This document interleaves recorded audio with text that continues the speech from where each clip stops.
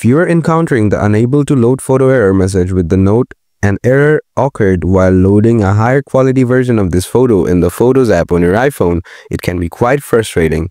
This issue typically indicates a problem with the photo loading process or iCloud settings. Here are simple steps to troubleshoot and resolve the problem. Solution 1. Turn on and off iCloud.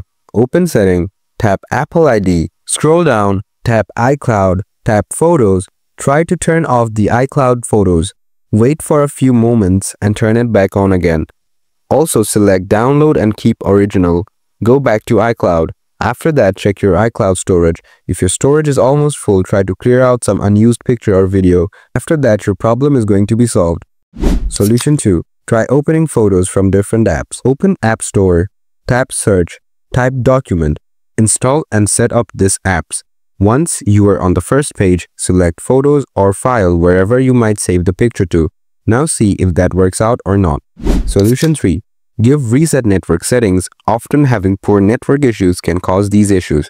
Open the Settings app, scroll down, tap on General, scroll down and select Transfer or Reset iPhone. Tap on Reset, then select Reset Network Settings. Enter your passcode if prompted and confirm the reset.